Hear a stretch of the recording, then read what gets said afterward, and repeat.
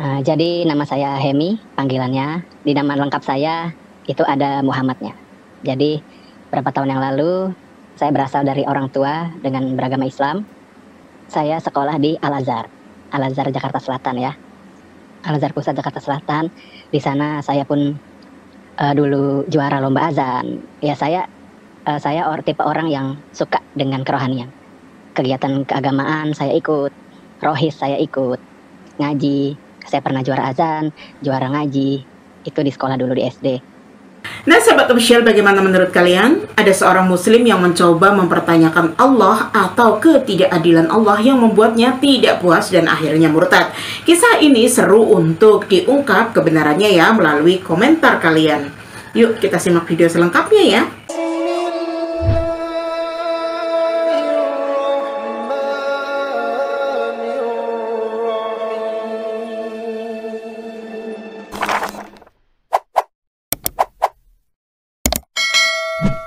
Assalamualaikum warahmatullahi wabarakatuh sahabat official. Salam satu Tuhan, satu akidah Qul huwallahu Allahu samad, lam yalid walam yulad, walam yakullahu. Sudah selayaknya kita untuk selalu memohon perlindungan Allah dijauhkan dari segala bentuk kekafiran, pemurtadan, dan dijauhkan dari segala upaya-upaya pendangkalan akidah yang dilakukan oleh orang-orang di luar sana dengan segala tipu dayanya seperti yang terjadi dalam video berikut ini. Uh, saya sudah mulai dewasa, saya bertanya-tanya uh, banyak agama ya, banyak kepercayaan. Dan pada saat itu kan saya tahunya, oh berarti beruntungnya saya ya, saya beragama ini, uh, saya sudah dipilih, saya sudah dipilih. Berarti uh, saya pernah tanya ke Tuhan saat itu, yang saat itu saya panggil Allah. Jadi ya Allah, kalau saya beruntung begini, saya juga mau orang-orang uh, di luar yang non Muslim, bagaimana caranya mereka selamat? Karena yang saya tahu saat itu, yang selamat itu kan orang Islam. Nah jadi saya beruntung karena orang tua saya Islam. Kalau saya orang tua saya Buddha, otomatis saya Buddha. Kalau orang tua saya Kristen, otomatis saya Kristen. Berarti kan agama yang saya pegang sekarang ini, tanpa saya pertanyakan, itu uh, turunan dari orang tua. Nah, jadi saya bertanya saat itu, saya pernah nanya ke ustadz atau ke orang lain, ya nanti kalau kita mati, yang penting tetap bertahan pada agama Islam. Sekalipun kita berdosa kan kita ditimbang, akan dihisap. Kalau dosa kita lebih banyak, itu akan disucikan. Masuk neraka dulu, disucikan, lalu diangkat ke surga. Terus bagaimana kalau orang lain? Padahal dia amalnya banyak loh. Kayak saya suka lihat uh, di TV atau kegiatan amal, charity itu kan saya lihat banyak banyak juga orang yang bukan Islam. Terus saya tanya, apakah mereka diperhitungkan juga? Wah katanya saya dengar amal mereka seperti debu. Jadi mau gimana pun baiknya mereka tetap masuk neraka karena bukan agama Islam. Nah di situ saya merasa kok nggak adil ya. Ya Allah emang kenapa uh, kenapa begini ya, kenapa nggak adil? Dan saya uh, mempertanyakan, saya mau semua orang diselamatkan. Bagaimana Tuhan?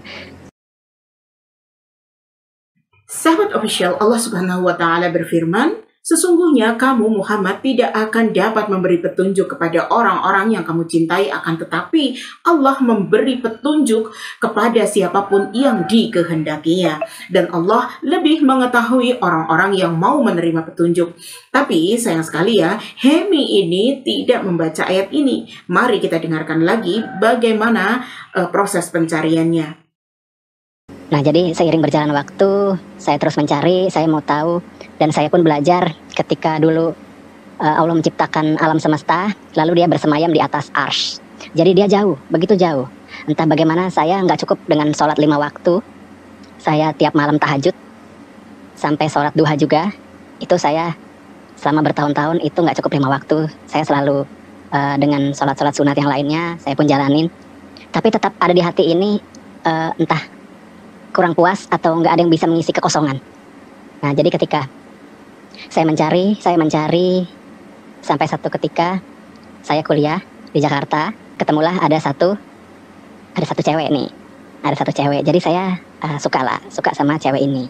Nah, dia kebetulan agamanya Kristen. Jadi begini ya Hemi, kalau ente itu murtad karena pasangan, jangan lagi menyalah-nyalahkan agama Islam dengan alasanmu yang aneh-aneh. Untuk kami dengar lalu disebarluaskan kesaksianmu oleh para misionaris media. Seperti judulnya, Gempar dilarang mempertanyakan Allah subhanahu wa ta'ala akhirnya pindah agama. Kesannya para ulama dan ustadz memang benar-benar melarang hal demikian. Padahal tidak seperti itu tentunya ya. Justru Allah menjawab pertanyaan kalian. Di dalam Al-Quran Allah subhanahu wa ta'ala berfirman, dan apabila hamba-hambaku bertanya kepadaku tentang aku, maka jawablah wahai Muhammad. Sesungguhnya aku sangat dekat. Aku mengabulkan permohonan orang-orang yang berdoa apabila mereka memohon kepadaku. Maka hendaklah mereka memenuhi segala perintahku dan hendaklah mereka beriman kepadaku agar mereka selalu berada di dalam kebenaran. Nah, artinya Allah itu dekat lebih dekat dari urat leher kita. Jadi begini penjelasannya. Di saat kita berbicara bahwa itu adalah kalam Allah, maka di saat itu kita melihat bahwa hal tersebut ada penglihatan Allah dan pendengaran Allah langsung terhubung kepada pemiliknya. Begitulah pemaparan hakikatnya. Lalu bagaimana dia kok sampai bisa murtad? Nah, dalam pencarian saya, saya deketin cewek ini. Dalam saya emang nggak apa-apa nih, ntar kalau pacaran beda agama. Ya namanya suka, terobos aja jadi ya saya deketin dia, saya deketin. Dalam pertanyaan saya kan hati saya lagi mempertanyakan Tuhan. Saya coba tanya sudut pandang orang Kristen gimana sih cara mereka beribadah, cara mereka punya hubungan sama Tuhan. Ibadahnya gimana sih? Terus uh, satu poin yang saya dapat dari orang Kristen dari cewek ini yang saya deketin dulu, dia bilang tanya Tuhan aja, tanya Tuhan, tanya Tuhan gimana? Ngobrol aja. Nah di situ saya nggak nangkep kok Tuhan bisa diajak ngobrol? Emang kita bisa ngobrol sama Tuhan? Karena pada saat itu pemahaman saya ya kalau saya mau, saya sholat istiqoroh, saya sholat dalam sujud terakhir, saya meminta sama Tuhan. Ya saya minta, saya minta apa pun yang saya uh, impikan, apa pun yang saya mau, saya naikkan semua dalam dalam doa saya dalam sholat. Tapi kok ini bisa tanya Tuhan? Sampai akhirnya dalam satu kekosongan saya merasa, oh Tuhan itu emang ada. Tuhan itu ada, tapi dia dia udah menciptakan dunia ini dengan semua sistemnya, semua berjalan dengan baik tanpa dia harus uh, campur tangan lagi. Kayak misalnya bumi berputar, nggak perlu diatur-atur lagi sama Tuhan. Atau siklus air dari awan, hujan, turun ke laut. Dari laut menguap ke awan lagi, itu nggak perlu diatur sama Tuhan. Karena di dunia ini uh, sudah ada hukumnya. Oh jadi Tuhan itu ada dan dia cuma nonton dari atas ars.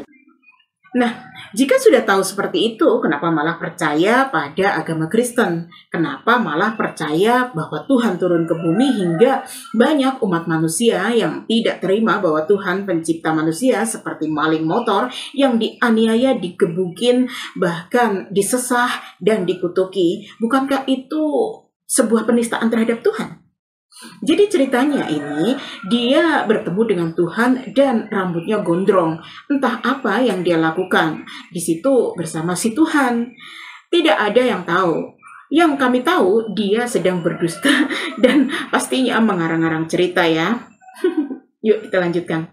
Akhirnya saya uh, memutuskan untuk uh, apa ya istilahnya itu agnostik kali ya. Saya juga belajar dalam pencarian saya saya belajar filsafat, psikologi dan segala macam untuk mengerti tentang kehidupan ini, alam semesta ini, tentang manusia, segala macam saya cari.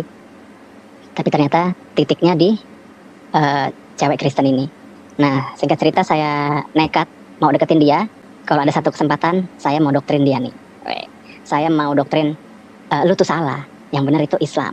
Nah, di sini saya nggak bilang uh, saat itu. Dan sekarang ini saya nggak bilang Islam itu salah karena kita percaya pada bapak yang sama ya Abraham Ibrahim. Nah cuman saat itu saya mau bawa dia ke Islam. Wah tenang aja kan bisa saya Islamin dia. Saya pada saat itu ya merasa lah merasa punya pengetahuan yang cukup lah karena saya kan senang mendalami agama kerohanian. Terus ternyata ketika saya mulai hampir keluar mungkin bapak bapak yang sebenarnya bapak di surga nggak mau anaknya ditarik justru dialah yang datangin saya. Ini barisan apa ya? Saya di mana ya? Jadi kayak kayak saya merasa lucid dream ya. Jadi kalau Nah, saudara tahu lucid dream itu kayak mimpi tapi kita bisa bergerak. Kalau mimpi kan kayak kita cuma nonton aja, nonton film. Tapi ini saya bisa jalan, saya bisa jalan di situ. Di barisan itu saya coba maju ke depan, ini barisan apa? Ternyata di depan itu ada imamnya. Di imamnya pakai jubah, jubah putih, panjang, rambutnya gondrong. Tapi saya nggak tahu. Saya saat itu nggak tahu, nggak tahu sama sekali ini apa, ini siapa. Terus saya berhadapan-hadapan sama imamnya di depan. Terus dia mengangkat tangannya pada saya. Saya berhadapan-hadapan depan-depanan, tapi saya nggak bisa lihat mukanya. Mukanya kayak di blur gitu. Terus dia bilang, official, jadi kami tidak perlu lagi menjelaskan tentang jawaban-jawaban dari Al-Quran secara panjang lebar untuk orang yang satu ini karena dia itu murtad karena perempuan. Maka dengan demikian orang Kristen cuma sedikit yang kami ingin sampaikan bahwasanya kami ingin meluruskan tentang kitab yang jujur itu hanya Al-Quran sebab itu tertulis Allah yang berfirman berbeda dengan kitab kalian yang bukan kitab suci, melainkan kitab sejarah dan karangan manusia. Bahwasanya Al-Quran itu merupakan indeks yang merangkum jawaban bagi setiap pertanyaan manusia. Semoga hal ini bisa menjadi pembelajaran bagi kita semua ya, sahabat official. Wassalamualaikum warahmatullahi wabarakatuh. Sampaikan ke saya, ketemukan saya ke seorang pendeta, temannya dia, kenalannya dia. Nah dia itu juga mantan ustadz yang sekarang jadi pendeta. Nah singkat cerita saya ketemulah sama pendeta ini, dia bilang, jadi uh, ada satu kata yang bikin saya uh, kena di situ. Kan dia dia bilang, saya mantan ustadz. Kenapa bisa jadi pendeta? Kenapa tuh pak? Saya tanya, saya mau tahu.